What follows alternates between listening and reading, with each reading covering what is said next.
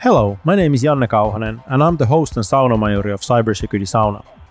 Today's special episode was recorded on site at the WithSecure Sphere 23 Cybersecurity Unconference in Helsinki, where we had an opportunity to talk to some of the guest speakers.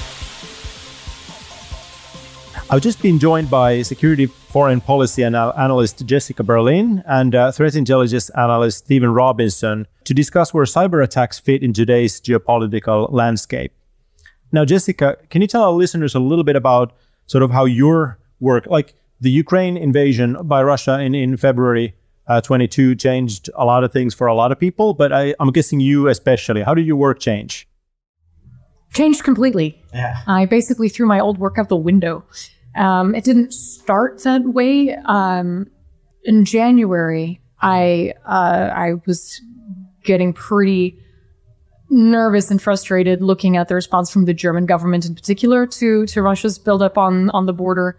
And I reached out to the Ukrainian uh, community in Berlin where I live, and just basically offered to help. You know, as a German with some political and political communications experience, you know, how can I help you guys get your message out more? And that's how it started. But then when the full scale invasion came, then it was just all chaos. And uh, I was helping with all manner of things, uh, you know, trying to help get people evacuated, uh, dealing with embassies, uh, aid deliveries. And um, over the subsequent weeks, as it became clear that the German government was not going to step up uh, and not uh, deliver heavy weapons and dragging their feet, I basically said, well, I'm an independent consultant. I have the freedom and flexibility to determine my workload. So I um, I finished my outstanding deliverables from my normal work. Um, and by April, then, um, and since April of last year, I've been supporting the Ukrainian war effort full time. Okay. So in Finland, we're very interested in everything Russia is doing because they're right over there across the border. So their relationship with the whole global community has changed dramatically since the invasion started. Have you seen a shift in sort of their cyber operations? Yeah, absolutely. So Russia really folded in the you know, cyber and they brought a lot more of their criminal organizations into the fold. There was always that tacit acknowledgement that as long as you're targeting people outside of Russia as a criminal, you know, you can do whatever you want. And that's, I think, always been made official now. They said, you know, if you're hacking in support of the war effort, then that's fine by the Russian government. And it's also caused, you know, the, uh, uh, the explosion of pretty much the leading ransomware group because they came out Conti and said, we support the Russian government. And then, then they were taken apart from the inside by just, you know, they, they were torn apart. And it was almost like a comedy sketch in that they stepped forward and said that. And then the other leading groups went, um, we're apolitical. And, and they're, they're still going. But that you know, that collapse and the dissemination and the, you know, the people that we can track moving around, the collapse of the ceasefire of we don't target Russian or Russian speaking, you know, uh, people, organizations, that's completely gone. And that kind of Commonwealth of Independent States, the former Soviet republics, just almost became kind of a, a free for all, or at least a, you know, a, a further part of that war front. And there's been a lot of theoretical cyber warfare you know, uh, uh, uh, work that people have done, but we're kind of seeing it now. What has always been the, you know, well, it's, this is obviously Russia, but it's not Russia. Now it definitely is, and they are completely aligned with their their government goals. So mm. it's in, it's re- it's it's it's interesting to see from outside of the firing line, at least. Does that match what you you've been seeing, Jessica? Does it sound familiar?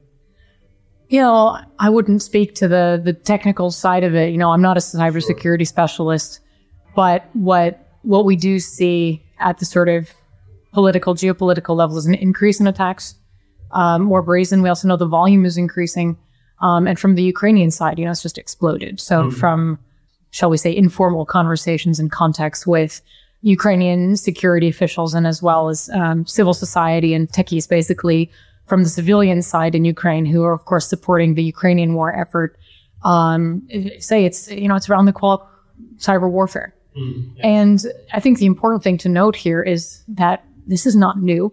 Mm. You know, our systems, you know, whether whether it's private companies or public sector infrastructure and systems, not to mention our elections, Russia and China in particular have been attacking uh, and finding vulnerabilities in these systems for years. Absolutely. So that's it's both good and bad news. I mean, the bad news is yes, it's getting more and getting worse, but the good news is it's it's now getting more recognized. And so with this recognition, this increased visibility that uh, the full scale invasion have given to what Russia and indeed China are about Mm. Uh, that's given us an urgency at the political level and in public awareness, public opinion that hopefully can leverage states to invest more in our cyber defense because the information war is half the war. Yeah, absolutely. And, and, it feels like that information war is really happening in places that governments haven't wanted to regulate before. People go, it's social media, it's, it's self regulating, it's whatever. And actually, when you're talking about the place that people get their information, it needs to be trusted and trustworthy. And Russia, as we said, have been practicing this for so long. And, you know, a number of years ago, they were, you know, doing disinformation campaigns, obviously. I'm pretty sure that they, they tested out some of their cyber attacks on the Ukrainian energy networks you know, before, before this all began. So the geopolitical ripple effect of this invasion has been far and wide, but how have other countries, other than Russia and Ukraine, sort of received it? Countries or even organizations like, were we prepared for this? No. No. No, we're still not. Yeah. Uh, we, are we're still in the phase of uh, looking at the house on fire and going, "Oh dear, does anyone have a bucket?" Yeah. Yeah. yeah. And and it has. It's been interesting as uh, as Russia have targeted people who've come out in support of Ukraine. So there's been targeting of European countries when they make statements or shipments or whatever else, um, specific MPs or MEPs based on the direction that they voted. One interesting thing that happened that I don't think anyone really expected was about a week before the invasion. I think I, I might be wrong on the dates, obviously, but China, Chinese actors launched hacking campaigns against Russian military near the border and the EU because they obviously went, oh crap, we need to know what's going on. And so they, you know, someone reached for a lever and that lever was cyber. And so it's not just necessarily, you know, Russia and Ukraine. People engaged in the war. It's people who want to know about the war as well. Okay. What about the, um, you know, we're talking about Russian threat actors, but what about the threat actors in other countries? Have they sort of changed their operations in response to what's been happening? Well, often kind of current current topics are are used for uh, for phishing emails and so on for targeting for for um, water hole, watering holes. And if you think about the people who are interested in the Russia Ukraine war, then those are also people who are likely to be targeted. Yeah. Journalists, uh, politicians, all of this. So so that's led to a kind of shifting in that kind of window dressing. I think there's also a lot more that's happened around the kind of dissemination of, of, of, tools as well. Like I said about, you know, that group collapsed and their tooling suddenly spread everywhere. And that has had an effect in that we've had this blurring as people have started to just use, you know, it, it's like a gun falling into the hands of a toddler kind of thing and someone can suddenly go off with it. One of the, I know one of the funniest things, funny might be the wrong word, but it's uh, the whole anonymous Sudan, mm. which I don't know if you heard of that one, Jessica. It's, it's basically, they call themselves Anonymous Sudan, as in they're an anonymous, you know, section from Sudan. Just happens to use, you know, the same Telegram channel that a Russian uh, disinformation group used to use and are based in Russia, and uh, their description is written in Cyrillic. That's adorable. Yeah, I know, right? Uh, maybe even adorable. To, to, to quote uh, a Ukrainian soldier who gave us this interview last year sometime, it's lucky for us they're so stupid. yes. Unfortunately, all that stupid is backed up with quite a lot of money mm. and a lot of resource, so they are able to spray and pray. Yes. Yeah. And and this is the inverse of what we have. You know, we uh, we collectively as the uh, the democratic uh, industrialized world, mm. we have also a lot of resources and talent, yeah. but we don't have the will to use it. We don't have the long term strategy to deploy it. Yeah. Uh, and, you know, from the private sector side, where most of the, the resource and talent and understanding of the problem are, well, first and foremost, you're reacting to what your shareholders and your boards of directors are saying. And you're planning things on a quarterly and annual basis. Mm. And international security is not your responsibility. Whereas on the other hand, we have public sector whose job it would be to defend against these threats and solve these problems, but they don't have the knowledge. They don't know what is the shape of the problem and what a solution should look like. So this is where we need to we need to invent new rules mm. and new plays to win this game. You know, because right now we're we're just we're watching the fire burn and say, "Oh goodness, it's it's getting hot in here, isn't it?" I'm I'm cautiously optimistic that that people are starting to get it. Uh, and as as I just said in the talk, I really think there's an opportunity right now for private sector cybersecurity companies to wag the dog of the state by getting started. Do what you do best. Start prototyping. Start mm-hmm. putting stuff out there. Uh, work together. You know, spread spread the work and load and, and the the resource and and the risk. Um, but consider it an investment in your long term business development and your immediate term uh, risk, political risk. And it is, it is a stated goal of WithSecure, which is one of the things I like about WithSecure, why, why I joined really, is that they want to, you know, make the internet better and more secure because it is a, it is easy to be short-sighted about the internet and go, well, you know, my computer is fine, but if you're constantly swimming in the sewage of open internet that's not being, you know, defended, then you've got issues. But decisions are made in response to information, and and with these operations ongoing, there's a there's concerns about disinformation uh, that are only getting worse. So, what kind of tactics are we seeing in disinformation space, and what, what kind of a role do these campaigns play in foreign policy, for example? It's extremely dangerous. Disinformation has taken on a life of its own. At this point, it's hard to even track certain conspiracy theories uh, and falsifications to their root. And that's just an indicator of how successful these campaigns have been. It's become standard operating procedure. As Stephen mentioned earlier, you know, in the social media space, we left the door wide open.